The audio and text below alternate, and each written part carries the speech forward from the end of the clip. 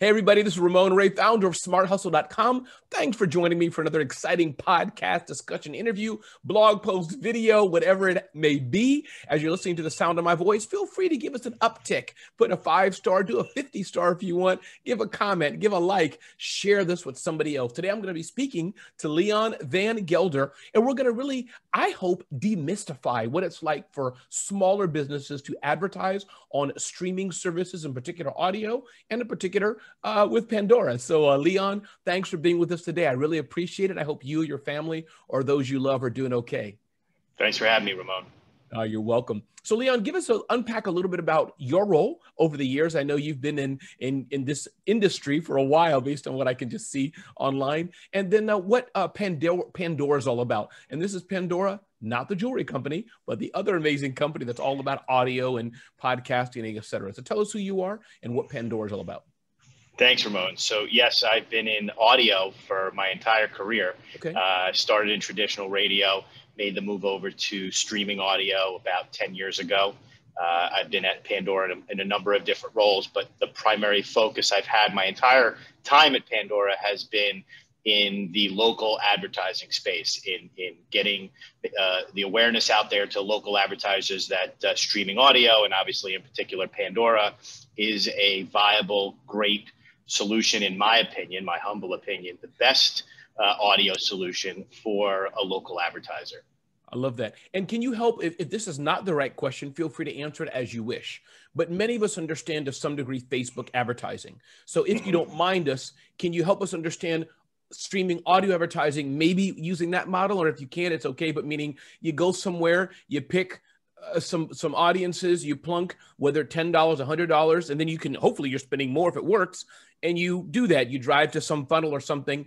Is advertising on audio much different? Totally. Is it similar? Help us understand how that works at a top level view. Yeah, so from the advertiser perspective, I think it's similar in the sense that our uh, focus is the data. We want okay. our, our, our, goal, um, our value prop, if you will, is our ability to reach the right person in the right place at the right time okay. at scale. I mean, that's the simplest way I can explain it to anybody. Uh, we have uh, um, uh, over 150 million logged in listeners across uh, Pandora, SoundCloud, uh, which we have the exclusive sales rights for SoundCloud, the SoundCloud streaming audio platform. So mm-hmm. we sell them bundled together. Uh, and, and when you put that together, it's over 150 million uh, unique listeners and they're logged in and we have their information, email address, uh, age, gender, right. Uh, zip code. So we have the geography, we have the age, we have the gender. and you put all that together and, and, and at a, at a base level, it allows us to serve advertising up for a local advertiser exactly where their customers are most likely to be. Uh, and then uh, additionally, based on spend levels and, and audience sizes, which is really the fundamental piece of it, is making sure that we're giving and providing a local advertiser the right reach and frequency, right. uh, because that's the key to successful ad campaign is a great reach and frequency. There's pl- plenty of uh, uh, uh platforms out there sure. that have great data and great technology. Uh, but if they can only serve an advertiser five people that are the right customer for them, it might be more efficient for that advertiser to pick up the phone and call those five people than run an ad run an ad campaign. So that's the so so uh, uh, that's the key for what we in streaming audio. The key is we do all that and we do it at scale. So an advertiser say your local car dealer or a regional supermarket or a regional healthcare company. Right. Uh, they know where their customers come from. They know uh, uh, age, gender, geo, psychographic information mm. that they know about their customer. They can come to us, they tell us who, who their customer is, and then we can make sure that we're serving their message, their ad, their value prop to the to those appropriate people. Got it. And just so I understand it, and so others understand that me and Leon are both listening to hip hop music. We're both listening to it. What I'm hearing you say though is that when that spot, and correct me on the terms that we learned together here, sure. happens, Leon's hearing about, you know, uh, hey, my name is Mindy with the local golf company. Come by for a party for your people. I'm hearing come to, you know, a steakhouse or something. Is that correct? Claire, help me. Yep, yep, yep, yep. Exactly. That's that. It, and again, it depends on uh, what the advertiser purchases. So uh, if you and I are the same age, gender, and geography. Uh, we know we're similar geographies. You're in New Jersey, I'm in New York, so we're, right. we're close. Depending on the advertiser, they may want the full geography oh, that sure, reaches the tri-state area. Right. Um, there may be an advertiser that just wants to reach New Jersey, in which case you would only receive the, those ads, and I wouldn't receive those ads. Um, same goes for for for age. I'm probably considerably older than you, so you may be it. getting different ads than you may be getting different ads than I am, just based on the age that an advertiser sure. is, is, is trying to target. Um, but what's also great about streaming audio, and what's great about the data that that the Pandora sales team has when it comes to streaming audio on the Pandora platform, on the SoundCloud platform, on our podcasting solutions, is that the advertiser, the, the biggest struggle that I hear from advertisers is what the heck do I buy? Right. How do I know? How do I know what my customers listening to? Are they mm-hmm. listening to hip hop? Are they listening to podcasts? Are they listening to sports? You know, are they listening on their mobile device? Are they listening on a desktop? Like I don't, and I don't have the time as a business owner or a even small mid-sized agency right. to figure it out. And so it's I what what what we do great is we provide the data to say you just tell us who your customer is. We'll serve the ad on whatever platform, whether they're listening on a mobile device, a desktop, in the car, we'll right. serve it. We don't care what they're listening to. If they're listening to music and it's the right age, gender, geo, we'll serve it. If they're listening to the right, if they're listening to podcasting, right. that's where we'll that's where we'll serve it.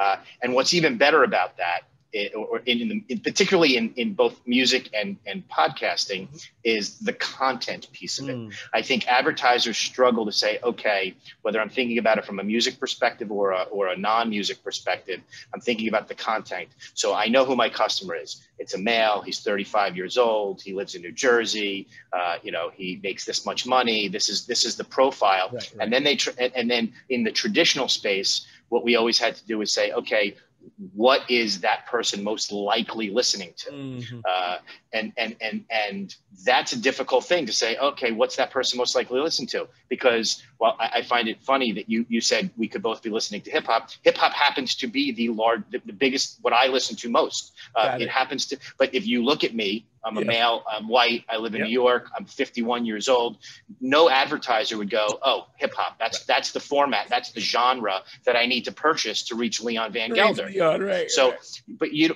with in, with our data with our information you don't have to do that you you you simply say to us i want to reach you know, I want to reach men, 25, right. 54, who you want to reach the new- handsome men who are wearing fashionable sweaters with glasses. That's what we sure. want to we yep, we've got that information scarily.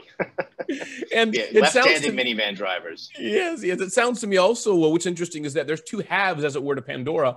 You know, not two halves, but on one hand, you have your team in some building wherever they are producing great music. You know, worrying about what music, like Ramon wants to pick hip hop or jazz, whatever. On the yeah. other hand, Leon, metaphorically, if I'm wrong, he doesn't care about what the music podcast is at all. The data is saying I can target women who are blah blah blah blah blah yeah. and feed wherever they are. It's kind of like two different sides of the equation. Yeah, absolutely. Uh, where I where I would say I care about the music is I want to make sure that our um, uh, data analysts who are writing the algorithms right. to take the take the information from the genome uh, and make sure that we're serving Ramon the next best thing that Ramon wants to hear. Because right. if if I make sure the more aha, oh my God moments we right. provide to our listeners, the longer you listen. The longer you listen, the more inventory I have to sell to our advertisers. Got the shorter it. you listen, that's the I mean, because that's the other piece of streaming audio versus traditional audio or streaming anything, right. streaming video versus traditional television.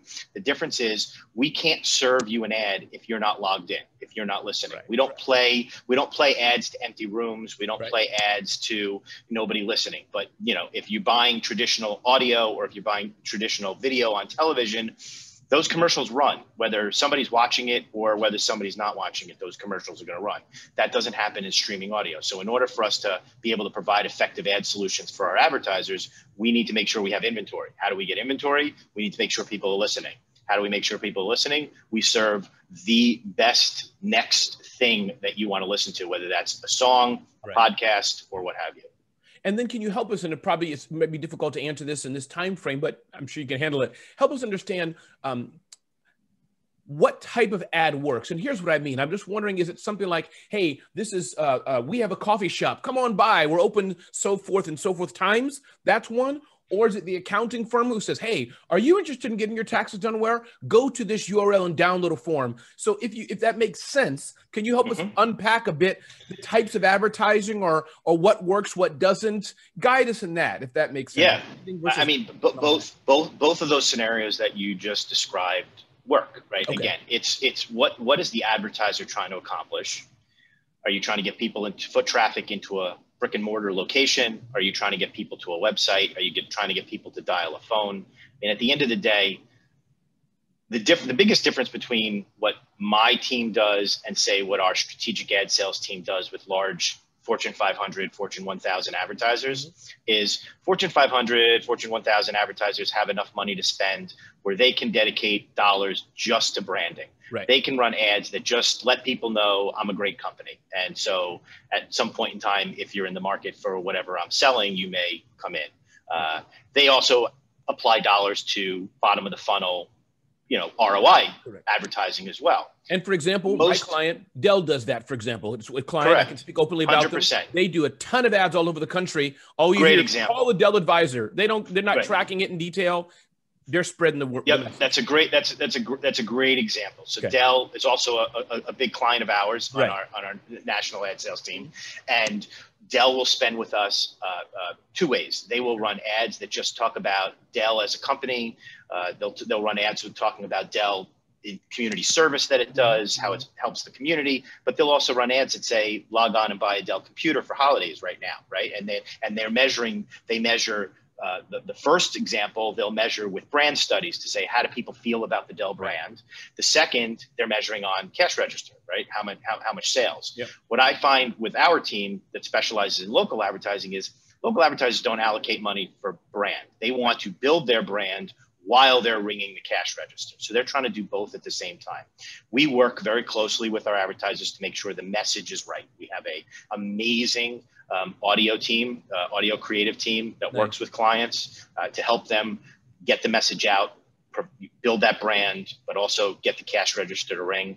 And again, de- depending on what you're trying to do, it becomes just a media solution. Right. So if you're telling me that you want your cash register to ring and you're a car dealer having a sale this weekend, mm-hmm. my conversation with you is less about what you're saying, although obviously what you're saying is sure. important, and more about what are you buying and how long are you buying it for, right? So if you're trying to get people to your car dealership this weekend, you're going to have a shorter flight with a much higher frequency. Mm-hmm. If you're just trying to tell people, hey, you know, we know that car leases come up once every three years. We know that you're pro- most of the people listening to this ad right now may not be in the market for a car right now, but we want you to be aware of our car dealership right. so that when your car lease is up, or if God forbid something happens to your car, it gets stolen or what have you, and you need to replace your car, you think of us, that might be a little bit less frequency over a much longer period of time. So again, it depends on what the goals of the advertiser are, what the campaign would look like, and what obviously we'd be saying in the in the commercial.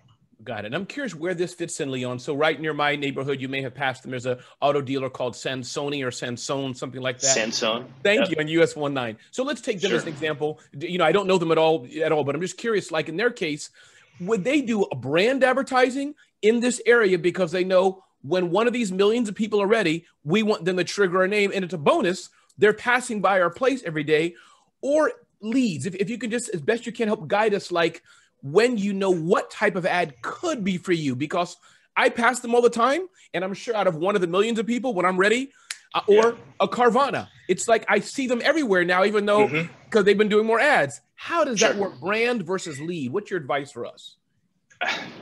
So it's hard, right? Again, if if if if every advertiser had a blank check, okay, and you want to try to do both, right? Okay. In a perfect in a perfect world, you want to try. I want to try to reach Ramon when he's not in the market for a car, right? And I want him to be aware of my car or whatever business we're talking about.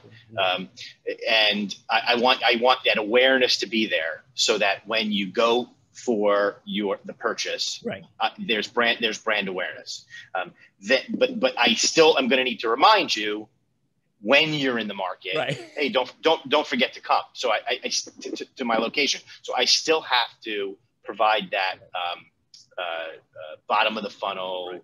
Uh, call to action, messaging as well. The reality is, most advertisers don't, most, no advertiser I know of has an unlimited budget. They don't have a blank check. If I find that person, can I give them your yeah, personal cell number? Exactly. You certainly can. uh, so, and I'll, and I'll, and if I find them, I'll give them yours as well. Thank right? you. Yes. Thank uh, you. So it's, it's, it's, it's, so the reality is most advertisers are trying to find a balance between the two. How, how do I get, how do I build that brand awareness while at the same time uh, de- dealing with that call to action? And that's where streaming audio, digital advertising, in my right. opinion, gets tricky because I think the advertisers get caught up in the, the, what our capabilities are. We are capable of targeting down to a very granular level. Right. I can I can um, you know I can there's far, I can do pharmaceutical advertising, right? I can I can run advertising to people who have a high probability to need this particular drug. Um, I can run advertising that for, for people who might be in the market for a bed because we know they're they have a plans to buy a new home. Mm-hmm. You know, we, we have that qualitative data. We have that the, the, the, all of that data. Right. Having that data sometimes drives list advertisers down a rabbit hole of targeting. And so they say to themselves, okay, well, you can run ads only targeting people who are most likely to buy my product tomorrow. That's what I want you to do, which is great, except that what it's not going to do is build that brand awareness for the person who down the road might be in need of your product. So you can almost over target yourself. Uh, it's, it's really important. Uh, and I, we talk about uh, when advertisers are buying advertising, they should think about it like a cupcake, right? Yeah. You, your advertising is like a cupcake, right? There's a base by what you should be doing, and then you layer on the frosting, and then you layer on the sprinkles. Um, you don't want to just eat the cake part, although there are probably some people out there that like just the cake. Um, and, and, you don't want to just eat the frosting, and you're certainly not you're going to eat the sprinkles on their own. You, you, know, you need to put the whole thing together. That a marketing plan, a marketing plan for a local advertiser has to be the same thing. Don't over target yourself, but also don't be too broad. You, you if you're a if you're a local business in Woodbridge, New Jersey, you certainly don't want to buy you know the tri-state area if the variety if the majority of your customers are only coming from New Jersey. So you don't want to be too broad, you don't want to be too narrow. You want to have a, try to find a nice balance between them. Yeah, and to your point about uh, you know a plan, uh, there's other options as well. Not as far as a competitive way in a bad way, but I think for the small business out there, don't have a crappy website. Don't not use email marketing. Don't not use you know whatever social media. Don't not smile when the customer comes in. It's way beyond this conversation, but I can Correct. see your head nod that you agree. No, no, no. You, you, gotta, I, you I, have I, to get the whole sweep your front store. You know. there's no it's it's all part of it right? I mean you know what's the there's an expression what's the fastest way to put a company out of business? A great marketing campaign behind a crappy business. So you know true. that's the, yeah. you, you you drive a whole lot of people to a bad business you're going to put that business you know they're going to be out of business very quickly. Um, it is the whole package. And i don't think we ever run around telling any advertiser you should take all of your money and you should put it into streaming audio it's that's not the reality. It, it, it needs to be part of your media mix, um, but it, it, certainly shouldn't be your, your entire media mix. To your point, email marketing is important. Social social media and, right. and advertising and marketing the right way and social media is important.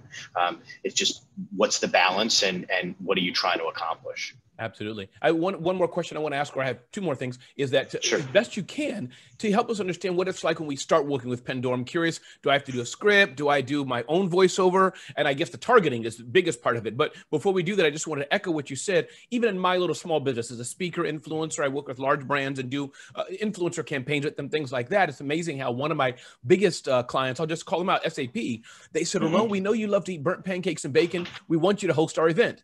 To the point of it wasn't a targeting thing I did to them, but over the weeks, they were watching me. So my yeah. point being, it seems like brand advertising is kind of like that. To your point, don't target too much because everybody's in general, right, is going to need a car, is going to get pregnant, is going to buy my a house at some point in their life. So sure. I, I, echo your point. Don't just look yep. for the person ready to drink coffee right this second. Maybe they want it tomorrow. Yep, and don't and don't assume people make decisions in a vacuum right? People are you're an influencer. People are influenced, right? So uh, people are influenced by this people around them. Uh, right. Now, I have I have a, I have a brother that lives in Florida. Again, I would never suggest a local advertiser in the New York, New Jersey area advertise in Florida to try to reach my brother to influence me. Right. Uh, but you can, but but there's spheres of influence mm-hmm. around people, and so you don't discount the influence that happens where if you if you if you reach people just because you didn't reach that exact person you thought was your customer doesn't mean that you didn't influence that customer in in some way shape or form if you if you if you happen to reach right. other people as far as your question regarding you know where do you start or how do you, right. you know where, where does it go you know we we we work with advertisers that come to us and say here's my highly slickly produced audio spot. Can you just put it on put it put it on pandora and and and, and run it and make sure it's reaching the right people. Okay. and we work with advertisers that say i don't know where to begin. And like we have a great creative team. Uh, we have a process a form you fill out. You tell us you know are you interested in a male voice a female voice? What kind of tone do you want it to have? You know do you want it to be uh, you know um, sophisticated funny? You know we ask similar to what we do with the genome where we characterize the all the characteristics of a song. Right. We try to ask advertisers a bunch of different characteristics of that audio spot that they're looking for to make sure that we produce it the right way for them. I love it. That's powerful. And so it's relatively easy, meaning relatively you hit some button, somebody works with you, whether online or and and how how fast does that happen? I pay for it, I put the campaign together. Is it hours, days, weeks? I do something today. When can I expect to hear it? Like in my living room or something? Yes. So so we have we have a, a tool um, with our sister company. It's called Audio Go. So for the smallest advertiser that wants to do something in a self-serve manner, they okay. can go to audio. They can go to Audio Go. They can click a few buttons and buy the ad campaign, and click another few buttons and get a, a spot produced. Okay. Um, I think it takes a few days, two, three, four days, to get that spot produced back to you for approval, and then we can get it up up, up and running. Um, you can also, again, with that tool, if somebody had uh, a desire to upload their own spot. You can upload your own spot. You don't necessarily have to get it produced by us. Um, and then, uh, you know, as advertisers spend at higher levels and they want personal touch and care and and, and a salesperson uh, you know you work with a salesperson and then that salesperson works with you on the media plan works right. with you on the um, the, the, the script if you and, and the sure. creative um, and, and again depending on the complexities of it it can take you know anywhere from you know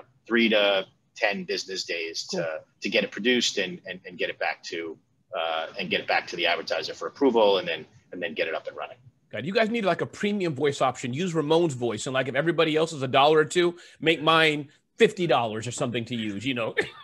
um, I'm curious. Uh, what last question I have for you, Leon? That anything I didn't ask, feel free. But um, is there anything that you wish people would stop doing? Any pet peeve? Anything your sales team says, Leon? They did it again. They did it again, especially for us newbies. And you may have answered it already. Yeah. I think you've answered a lot, but I just I'm curious. Anything you're saying? Sure. Wow, this is the biggest two or three things that people get wrong.